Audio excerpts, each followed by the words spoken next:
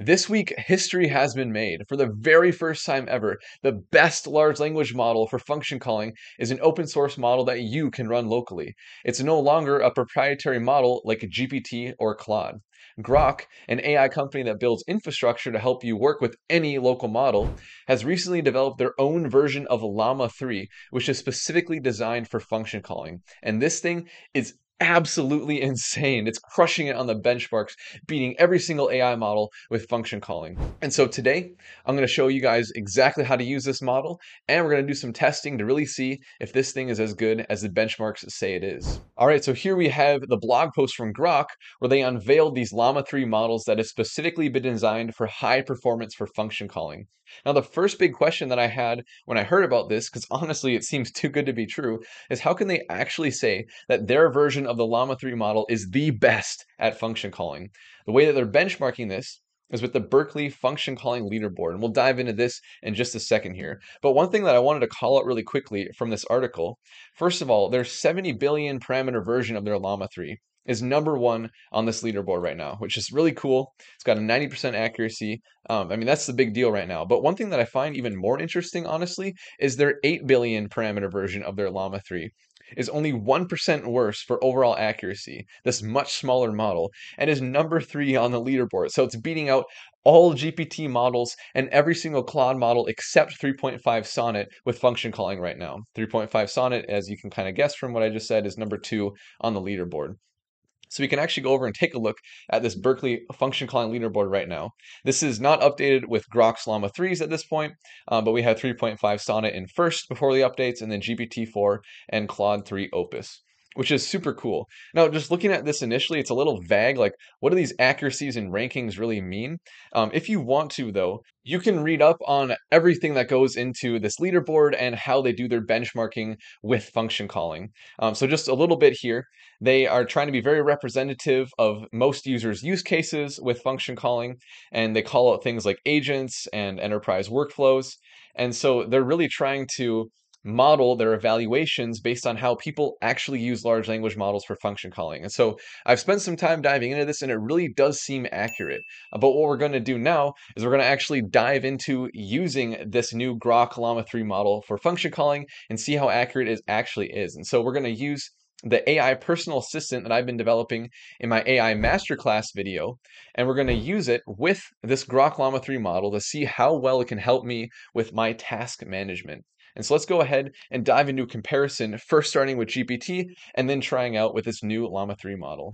So in order to truly evaluate the effectiveness of this new Groq Llama 3 model for function calling, we need to compare it to another powerful model using the same AI agent. And so the model that I'm going with here is GPT-4o. And the agent that I'm going with is this task management agent, like an AI personal assistant that I've been developing in my AI Agents Masterclass series here on my channel. And so this agent, it helps me manage my tasks in Asana, which is my favorite task management software. There's a UI for this as well with Streamlit, and it uses a lot of cool tools like LangChain to build this up really, really nice and easily. And so if you're curious about any of those things, you can check out other videos on my channel or in the masterclass series. But I'm just going to go over this code really quickly here, and then we'll dive into testing it out with GPT. Then I'll show you how to change it to use the Groq Llama 3 model, and we'll test it out there as well. And so really quickly here, the link to this code is in the description of the video in a GitHub repo, so you can check it out if you want. But I'm just going to go over this in a really high level right now. So first of all, we have a section that defines all the tools that we're giving the agent to interact with Asana on my behalf, to manage projects and to manage tasks. And so here are all the tools. And then we get into the next section, which is the function to actually interact with our AI agent. And so I build up the chatbot and bind all the tools to it, and then handle all of the prompting here, and also handling any of the tool calling that comes up when the AI wants to invoke a tool as an agent.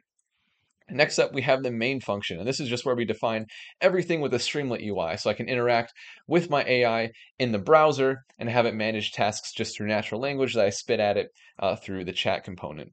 And so that is everything for this AI agent. Now let's go ahead and see how well it does with GPT-4. All right, so here we are in the Streamlit UI for the task management AI agent that we have running with GPT right now. The way that I ran this script is I just ran the command streamlit run in the name of the Python script that I just showed you. You do that in a terminal, and then it'll give you this UI in the browser for you to interact with your agent. And so what I'm going to do right now to test how good GPT is with function calling is I'm going to give it a very difficult task where it needs to invoke many different tools to interact with Asana to do something rather complex for me. And then we'll test the exact same thing with the Groq Llama 3 model. And so I'm going to start out with a very simple question. I'm going to say, give me the 10 steps to create an AI agent application. And so basically, I'm just having GPT start out by doing a little bit of research for me. So give me the top 10 steps to make an AI agent app. It's a little vague, but we're just doing this as an example. And then what I'm going to do is I'm going to say, okay, great. Now, create a project in Asana called, I'll just say like AI agent app and add each step as a task that is due by Friday. All right, so now we are kicking off many different things behind the scenes where GPT has to know to invoke the tool to create a project and then go into it and create tasks for every single step. So it has to also understand the due date that I gave and its previous response to be able to pick out each of those tasks and turn them into a nice little title for me for each task. And so it's going to take a little bit here because it has to invoke every single one of those tools. Um, but I'm specifically letting it go here and not just pausing and coming back when it's done because I want to show the speed here and also compare that to the Groq Llama 3 model. So here we go. I've created a project in Asana called AI Agent App, and I've added each of these tasks, and it gives the links as well. So that worked flawlessly. That is awesome. And so now I'm going to do a couple of other little tests here, and then we'll go and actually check it out in Asana. So first I'll say Nice. I have finished um, defining the purpose and scope. I don't spell it right, but that's totally fine because I wanted to mark this task as complete. All right, it has marked it as complete. Nice. And I'll say, I'll just do another test where I want it to delete a task. I'll say, I actually don't want to test the application. I do not recommend this, but this is just a test here because I want to remove this task. Uh, there we go. It's removed it. All right, nice. And now I'm going to test adding another task. I'll say, instead, I want to hire someone to test my app. So I wanted to add that as a task instead. Oh, nice. Okay, so before it even adds a task, it asks me for the due date, which is really good. So I'll say Saturday. All right, add it in by Saturday. So now it's thinking, here we go. Yep, hire someone to test the app. Here we go. All right, so now let's go into Asana and actually check out and make sure that all these things worked as the bot told me it did. So here we go. Over to Asana, we've got a new project called AI Agent App. I click into this, and then boom, here we go. We got a task for every single one of the steps to build an AI agent app. Define the purpose and scope is complete. We don't see test the application anymore, and we do have a new task created that is due by Saturday to hire someone to test the app. And this is due in two Saturdays from now, which is also nice that it, that it determined that. So everything worked great. Now we're going to go over to the Groq Llama 3 model and see if it can do this just as well, or maybe even better or faster. So let's go ahead and dive into how we change the code to do that. All right, so I'm going to spend just a minute going over the changes that it takes to use the Groq Llama 3 model, and then we'll go ahead and test this one just like we did with GPT to see how it fares with function calling. And so the first thing is I'm going to import a new module from LangChain Groq, where it's just chat Groq, and we'll use this to instantiate a Groq model for our chatbot instead of an OpenAI one. And then for our model that we have defined through the environment variables, we're going to have a default here of the Llama 3 Groq 70 billion parameter version.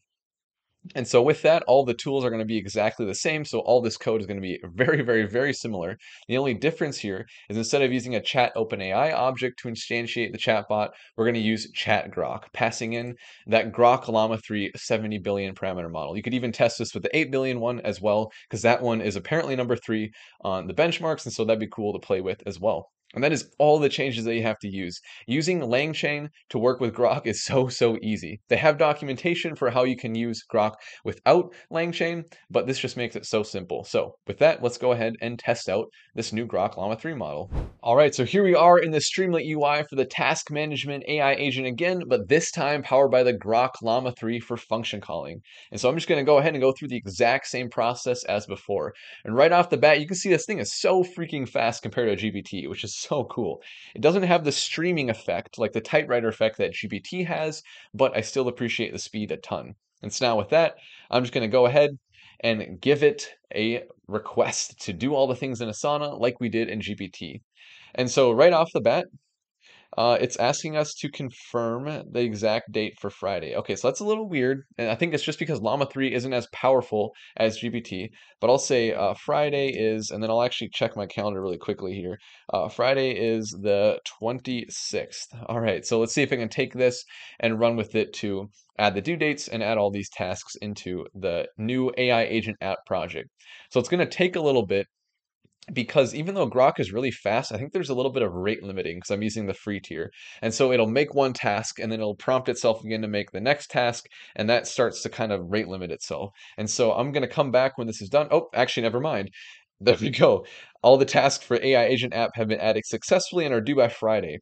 That is perfect. Okay, so it took a little bit to get it there. I had to give it a date when I didn't have to give that to GPT but this is still pretty cool. The fact that a local model can do this, an open source model, is freaking insane. And so now I'm going to go ahead and give it another request. I'll say I have finished, um, let's see, I'm going to say I have finished choosing a programming language and dev environment because I want it to actually mark this task as complete. That is interesting. It seems there is an error updating the task. The task ID you provided is not valid. I'll say, no, you need to look up the task IDs. I don't want to have to give that to the model. It needs to be able to determine that itself just like GPT did. Um, okay, define the problem has been updated successfully. Okay, I don't even know if that's the right one. So it's not doing the best here, but I'll, I'll test it out a little bit more here. Create a new task to um, hire out a dev. Let's see if it can make a new task in this project to hire out a developer for me. Hopefully it can do this one fine. We'll see what happens. It's taking its sweet time here. Not really sure why. This one should be pretty quick. It seems like GPT is actually faster in invoking tools somehow. But here we go. The task hire developer has been created successfully. Um, let's do one more test here where I will I'll um, delete the task, test the AI model. I don't want this anymore. Let's see if I can get rid of it fine. And then I'll go over to Asana after this and verify that everything actually looks the way it should based on what Llama 3 told me in this conversation. So I'll just give it a little bit of time to delete that task, and then we'll swap over to Asana. All right, so it has successfully deleted the task for me. And now let's go over to Asana and check this out. So I deleted the AI agent app project from GPT. Now this is the only one that was now created by Llama 3. So I'll click into this We'll see how it looks. Okay, so hire developer has been added. All the other tasks are here. It has checked off define the problem or task, and I don't see test the AI app anymore. So there we go. It successfully did everything that GPT did. It took a little bit more to get it there, but it did work. And so that is a huge victory for open source and local models. So I honestly can't say I'm 100% impressed with these Groq Llama 3 models for function calling because they're not quite as good as GPT. I think mostly just because GPT is able to handle a bunch of tokens a lot better. But still, it's insane how well this model is doing compared to other local and open source models. I didn't even want to compare it to a base Llama 3 or Microsoft Phi, for example, because those fall apart so bad, it wouldn't even be a good demonstration. So that's why I compared it to GPT, and it was almost as good, which is a huge victory for open source models. If you're an advocate for transparency in AI or making AI accessible for anybody, then this is what you want to be rooting for these models getting almost as good as proprietary ones is a big step forward. So I'm stoked with this. I hope that you can take this knowledge that I've given you and apply it to add local models as AI agents in your workflows. If you found this useful in any way, I'd really appreciate a like and a subscribe. And with that, I will see you in the next one.